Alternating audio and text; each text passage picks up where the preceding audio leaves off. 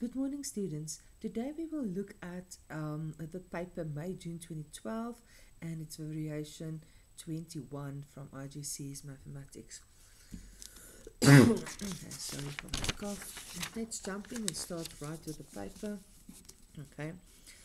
Um, question one says the price of a ticket for a football match is $124. Calculate the amount received when 76,500 tickets were sold. So we know we will have 76,500 times 124 because it's one ticket is $124. If I type that into my calculator, I get 948600. Zero. Yes, that's right. Okay, so 9486 one, two, three zeros. Now they ask us in question B, write your answer in standard form.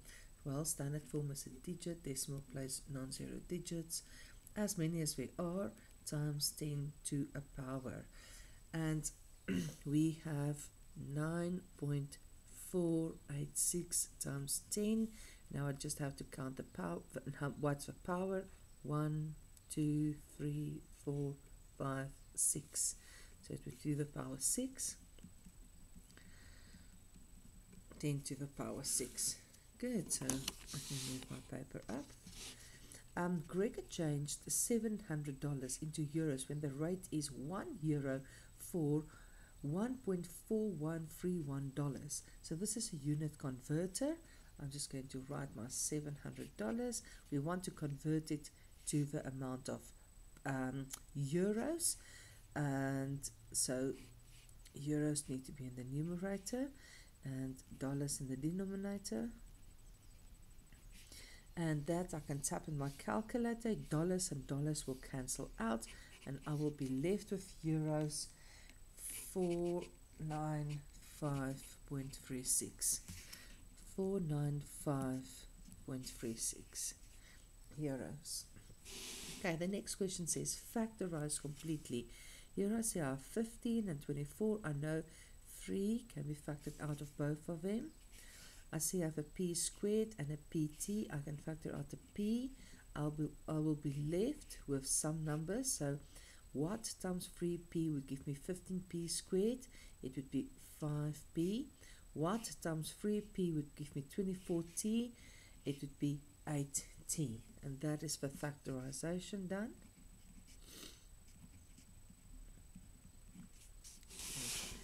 The next question says, order the following numbers smallest first. So I've got to rewrite those numbers first in um, a decimal form so that I can actually see what is greater and least. The, the 8 over 17 is 0 0.47058. Um, the square root of 0 0.22 is 0 0.469. Tan 25 is 0 0.4663. Um, 0 0.466669, so 663 would be first. Um, that would be second. 0 0.47 would be third, and that one fourth. So I write the original number down. Tan 25, 2 is square root 0 0.22. 3 is 0 0.47, 4 is 8 over 17. We're done with the first page. Let's page around. It's over. Good. Here we have a calculator. Uh, um, here we have a triangle with some sides and an angle, and we want to find a, a opposite side from this. Well, let's write our rhyme down. So SOHCAHTOA. Um, I have an hypotenuse and I want an opposite, so I need to work with sine. So sine of 53.2 equals opposite, that can be x, and hypotenuse, that is 29. Now I multiply by 29 on both sides, so x is going to be um, 29 sine 53.2 degrees. I tap that into my calculator and I get 23.2 and that is the length centimeter x would be centimeter um, 23.2 centimeters. Okay. Question 9 reads Leon scores the following marks in five tests 8 4 8 and a sum number y and 9 his mean mark is 7.2 calculate the value of y so we know that if we have mean um, mean is the mean is the sum of the numbers divided by the number of numbers.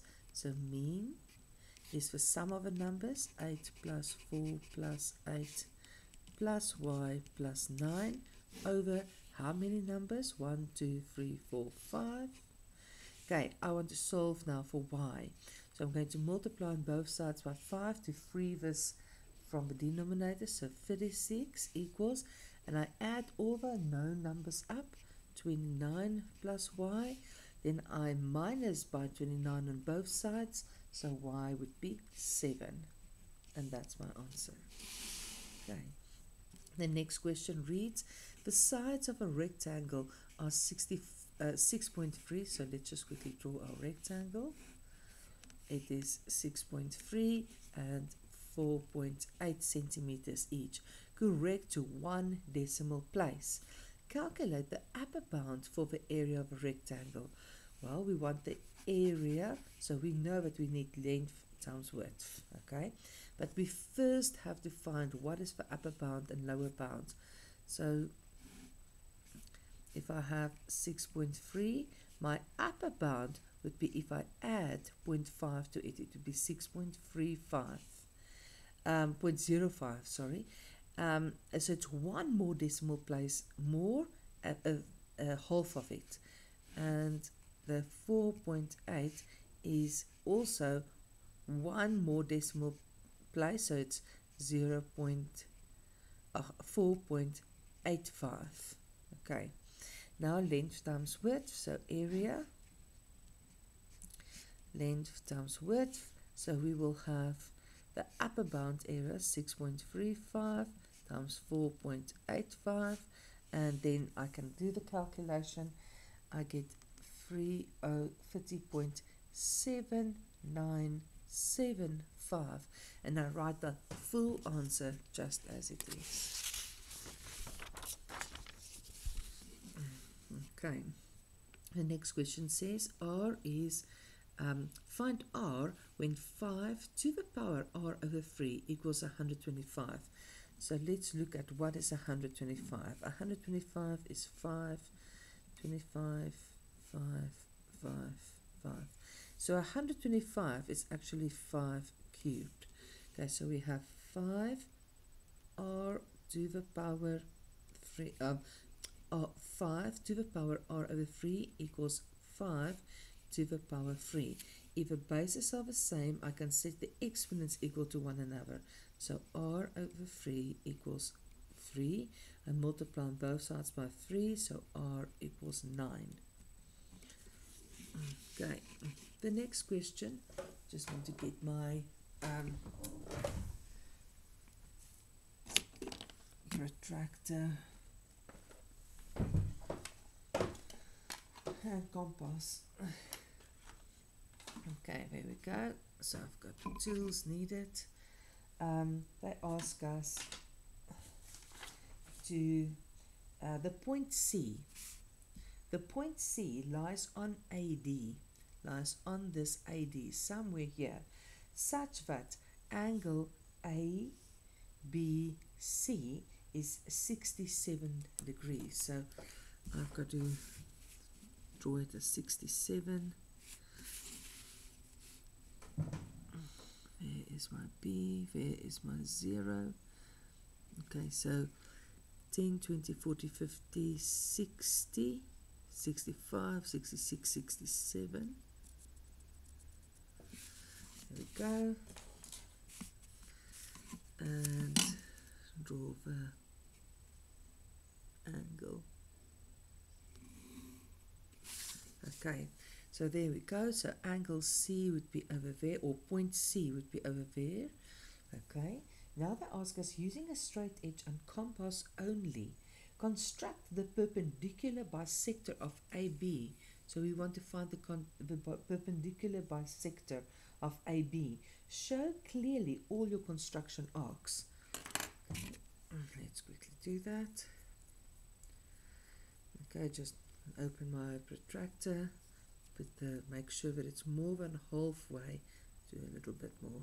Okay, there, put the, the point there, make an arc, do the same there, make an arc, put the point there at exactly at B, make an arc, make an arc. Okay, now I've got to join those two lines of those two arc, uh, the places where the two arcs intersect. There you go. Okay, there I'm going. And this is the perpendicular bisector of AB. And I'm done with that.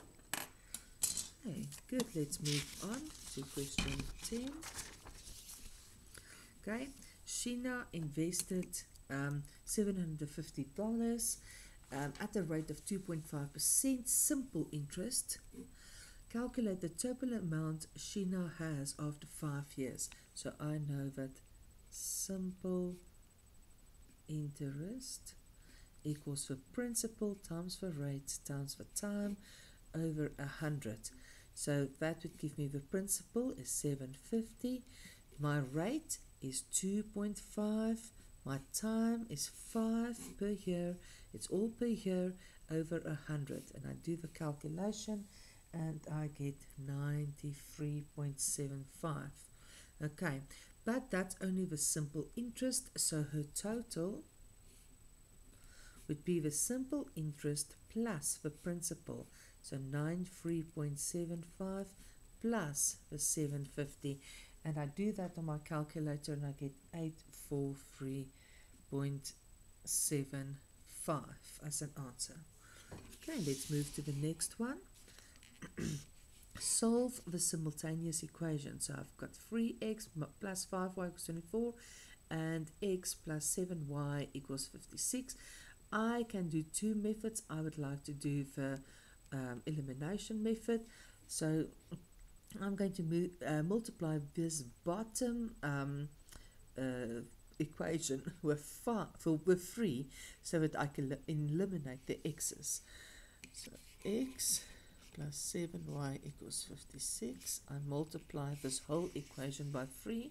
That would give me 3x plus 21y equals 3 times 56 is 168. Okay, now we can subtract the two equations from one another. So 3x plus 5y equals 24. I'm going to subtract that whole equation from it. 3x minus 3x is going to be 0. 21 minus 5 will give me 16y. 168 minus 24 will give me 144. I divide on both sides by 16 and I get y equals 9. I can fill that in. Now we need to go back to one of the original equations and substitute it back in. I've selected this, this one that's simpler. x plus 7y equals 56. So x plus 7 and my y value is 9. And now I just have to solve for x and this is 63. So 56 minus 63 would give me negative 7. And that is the end of question 11. We're moving on nicely. Okay, we're working without a calculator. Work out 1 at 5 over 6 plus 9 over 10. You must show all your working and give your answer as a mixed number in its simplest form. Okay, so 1 and 5 over 6, I'm going to first uh, convert that back to a mixed number before I, you don't have to do it, but I often do that. And that would give me 11 over 6 plus 9 over 10. Now, my common denominator I know would be 50, so I'm going to multiply this one with um, 3 over 3, and that side with um, 5 over 5. That gives me 50 and 50 and 55 and 27. if I do the calculation there, I will get 82 over 50 and that would be equal to 2 and 22 over 50.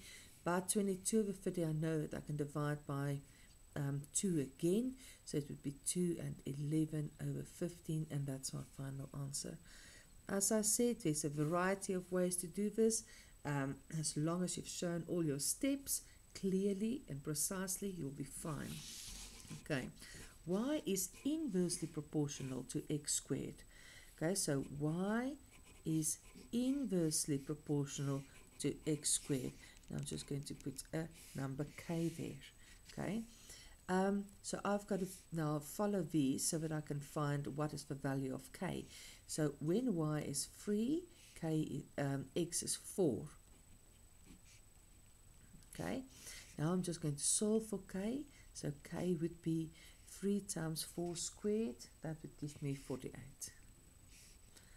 Okay, now um, I need to find the find the value of y when x is 5. So I'll substitute the value of 48 in there, and that would be 5 squared. So y, if I do the calculation, would be 1.92. 1.92. Okay. Um, number 14, question number 14. So it says the region of R contains of points that satisfy these inequalities. y is smaller or equal to a half x plus 4, y is greater or equal to 3, and x plus y is greater or equal to 6. So first of all, let's establish where the lines lie. This is um, plus 4, so I can, I can say this is a positive line, so this line would be y is smaller or equal to a half x plus 4. Well, this is the line where it cuts the y-axis at 3, so that would be y is greater or equal to 3. And the only other line that that's left over is this one, x plus y is greater or equal to 6. Now my next step is I'm selecting a point. Any point that's not on the line, and I'm, and I'm just going to check each one of them will it satisfy this point or not? Will it be satisfied by this point? Um, so this one, 1 is um, smaller or equal to a half plus 4. Is this the truth? Yes, it is the truth. So from this line, this region will be satisfied. So I'm going to shade that side.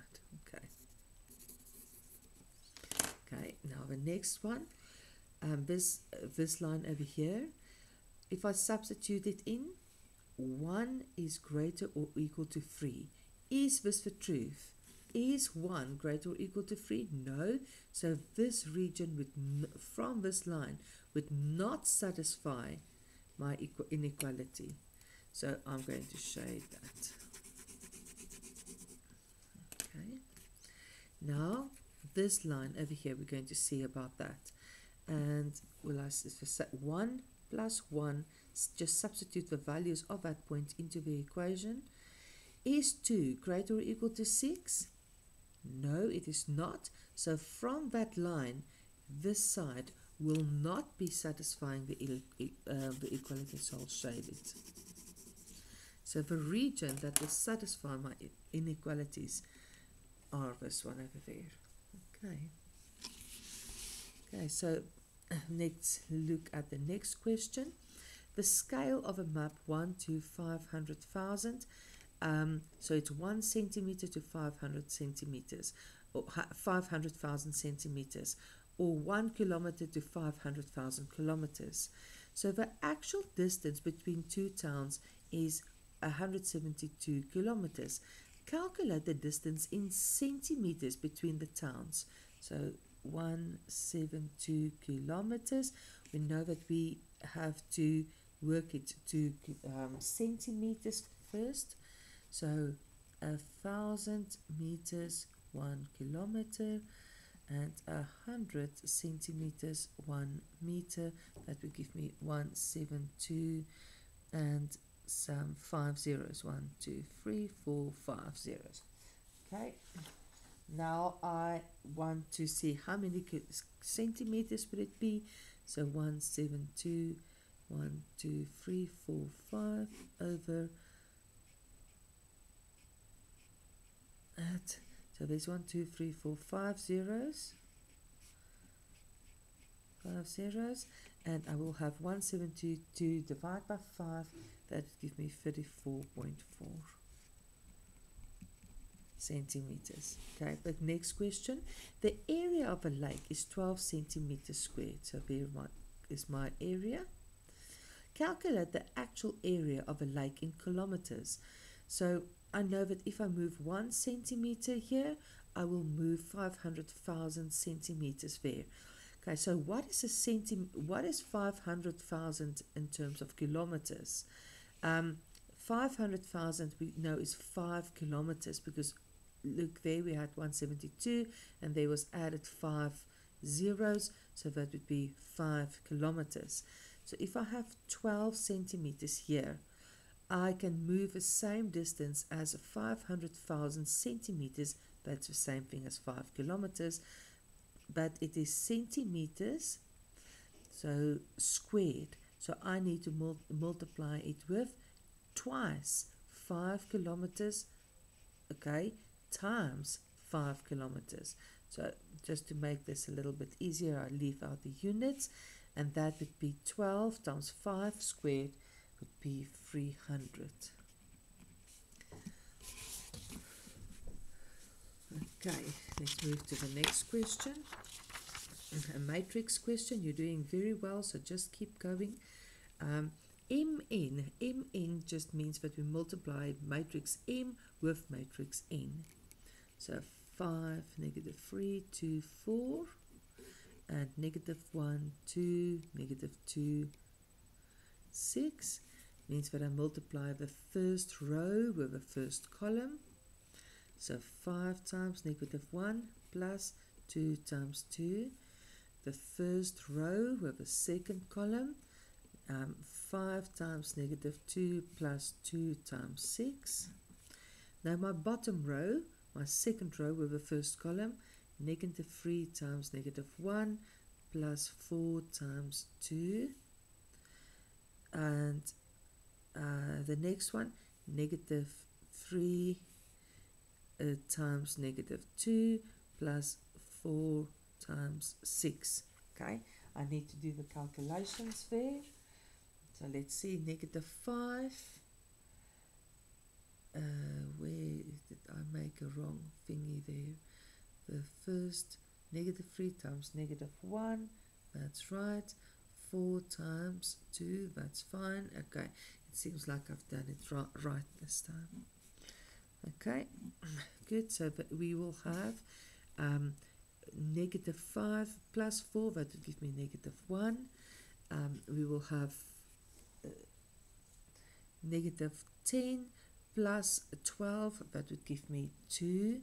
We, there we have 3 plus 8, that would give me 11.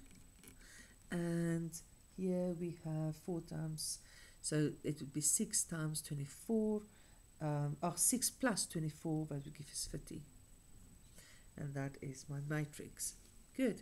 Now let's move to the matrix. The inverse of a matrix, M inverse. We know the inverse of a 2 by 2 matrix is AD minus BC. 1 over the uh, um, uh, AD minus BC.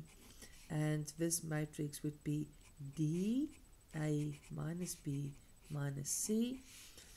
Okay, now let's fill it in. A is uh, of my M is uh, 5 times D, that is 4, minus my B value is 2 and my C, C value is negative 3. And now I just move these around, so 4 and 5, negative 2 and 3 and I do the calculation there, it would be 1 over 26, because I have 20 plus 6 there would be 26, 1 over 26, and my matrix 4, 3, negative 2, 5 stays as it is. Okay. Good. So now here we have to make W the, the, the formula. I am going to multiply on both sides of this denominator. So we will have W plus 3 times C equals 4 plus W. Just to get rid of that denominator. Now distribute. So CW plus 3C equals 4 plus W. I'm going to move all the w's to the one side and all the other terms that's not related to w to the other side. So we will have cw minus w equals 4 minus 3c. Now factor out the w. So c minus 1, 4 minus 3c, and divide by c minus 1 on both sides. So w would be 4 minus 3c over c minus 1.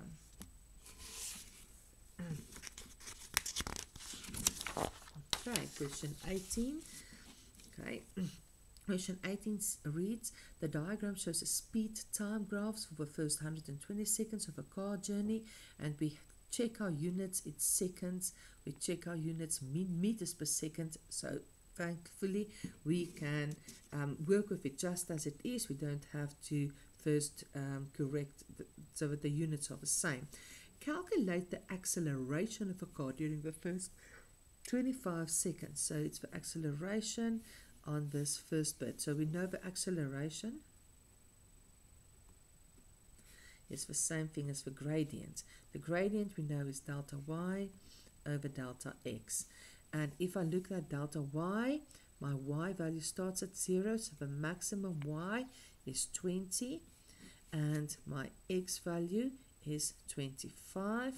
I can simplify that as 0.8 and that would be my meters per second squared. That's the acceleration, 0.8 meters per second squared. Okay, calculate the distance traveled by the car in the first 120 seconds. So here I would like to just divide this into little units so that the, I, I know the distance of a speed time graph is the area under the curve. So let us quickly just divide it into little regions. So this is region A, B, C, and D. Okay, so A, you know, is a, a triangle. I'll move it up. Okay, so it's a half base times height plus B is a rectangle, base times height.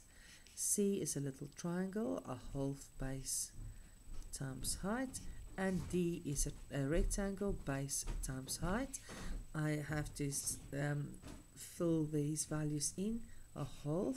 My base there is 25, my height is 20, plus um, my base there is, let me quickly check, 25 to 55, that would give me 50 times 20, a half my little base there is only 10 and my height is only 5 and my base there is 120 minus 55 that will give me 65 times 15 okay I typed this whole thing in my calculator and I got 1850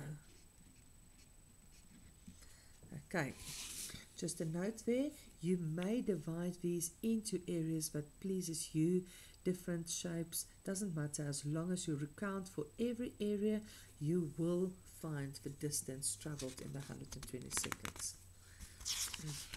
Okay, question 19, okay, here we have a vector question. O is the origin, OPQRST is a regular hexagon, that means that all the sides would be equal in length and OP is P and OT is T. So let's quickly do that. OP, I'm going to make all the o, all all the vectors that are the same as OP blue and that one and that one. Let's just put the direction in as well. Okay. And all the vectors that are the same as OT, I'm going to make orange. All of them that are the same that looks exactly the same. Okay, now it's easy. I can travel on only the known roads, so I know all the blue ones would be P and all the orange ones would be t. So we want to go from p to t. So I can go negative p plus t. Negative p plus t, and that's my answer. Sorry, t is a little bit skewed. Now we want to go from p to r. So I want to travel from p all the way to r. So I can only go on the vectors, the roads that I know. So that would give me uh, orange one, t plus t plus a p. So it'd be t plus t plus a p. That would give me p plus 2t. Okay. The next one is for position of vector r. If I say position of vector r, I know it will start from the origin, from O. So I want to go from O to R. I can't go directly because there's no name on that road. I have to travel the zigzag, zigzag way. So I'm going to go T plus P plus P plus T. Okay? It doesn't matter which way we followed, we will still get it. That's two, a P and a P and a T and a T. There we have a T, P, P, T, a same, and we can go a variety of ways. We will still find it exactly the same way. So it's two T's, one, two T's, and two P's, or two P's uh, and two T's, or a P, T, T, P. It will still stay the same. So we can conclude that it would be um, from O to R would be T, um, T plus P plus P plus, plus T. So it would be 2 T's plus 2 P's. And we are done. Okay. It's a good idea to mark your vectors with a different color. Um, you can see them very easily now and um, it's just roads that you have to follow. Okay. The next question is a question with six marks. Um, a lot of people battle with this one. Um, the main idea is to read the question carefully. R and T are points on the circle with a center O and a radius of P, uh, 5 centimeters. PR and PT are tangents to the circle. Tangents means that from the center of a circle to the point of tangency would be a 90 degree angle. So immediately we are given some information here and angle um, this angle POT equals 78. Now if I've drawn a point of to the if I've drawn a point of um, connect the line from an external point to a point of tangent to the circle for any place on the circle these two lines are going to be exactly the same okay so we actually have two congruent triangles I know that they would be the same. This is the same, so we have um, line, line, line, or side, side, side, and that means that this angle there would also be 78 degrees. Okay.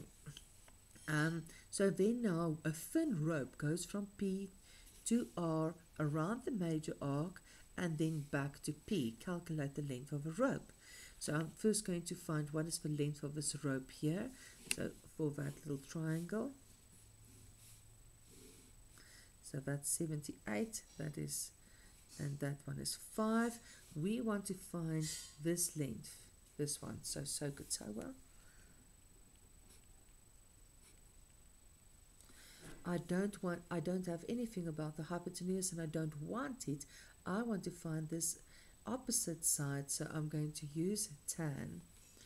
So tan of 78 degrees equals opposite, that is x, over my adjacent, that is 5. So x would be 5 tan 78. And if I plug that into my calculator, let me quickly just do that.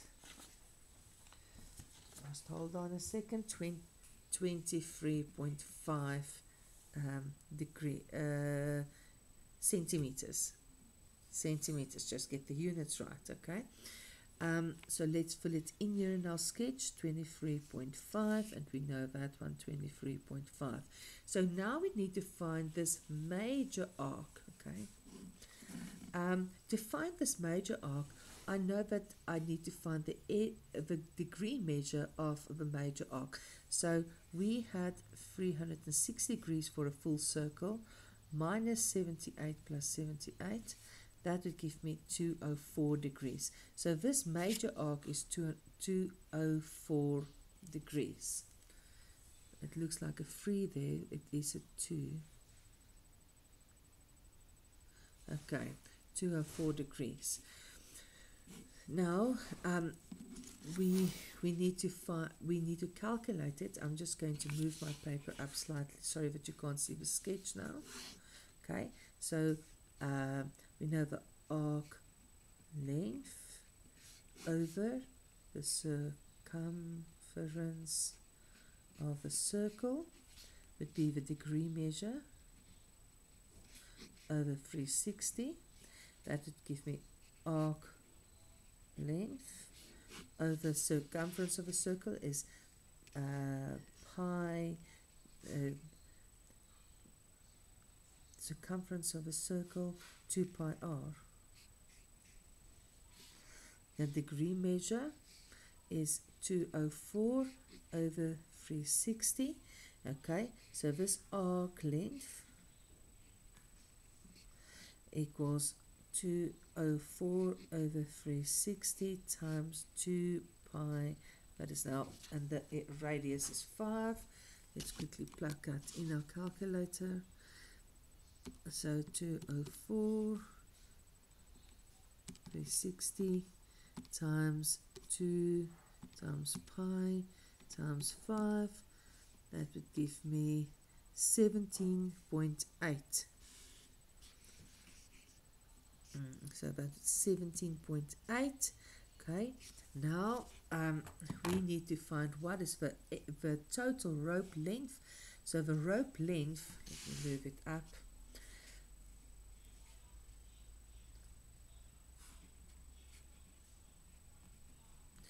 Would be 23.5 plus 23.5 plus my 17.8 and we can quickly do that plus 23.5 that would give me 64.8 centimeters. 2 pi r the arc length yeah circumference of a circle. Yes. Okay good. So let's move on to the next question um, I think it's the last one, if I'm not mistaken. Yes, it is. Okay, so first here, I am quickly going to draw the, um, just on a separate sheet of paper, and I'm going to quickly draw the, the tree diagram. Um, let read the question. In this question, you are given all your answers as fractions. Um, a box contains three red pencils, two blue pencils, and four green pencils. Right, you choose two pencils at random without replacement. So, one, two, three. So you have red, blue, and green pens. Then he selects another one. So, red, blue, green. Red, blue, green then move it up? Red blue green. So he has three red pens pens so it's three out of nine because it's a total of nine pencils. Two out of nine blue ones and four out of nine green ones. He selects a red one so it would be one less pencil red and one less pencil and those would stay the same. Okay, he selects a blue one, so the blues would be 1 out of 8, the red ones will stay 3 out of 8, that would be 4 out of 8. He selects a green one, so the green one would be 3 out of 8, those would be 2 out of 8 and 3 out of 8. Okay, now we can answer all the questions without doubting that we will have it right. Right. So the first question is they are both red. Okay, so it's easy. It must be red and red. So three nines times 2 eighths.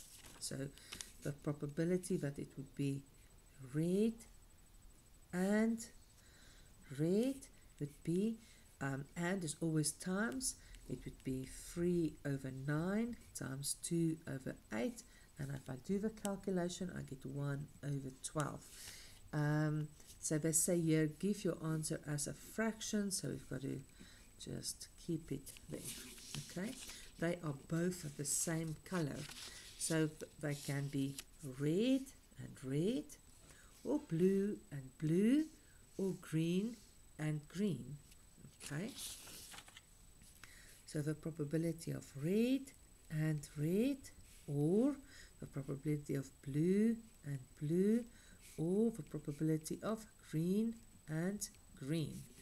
So let's fill it in.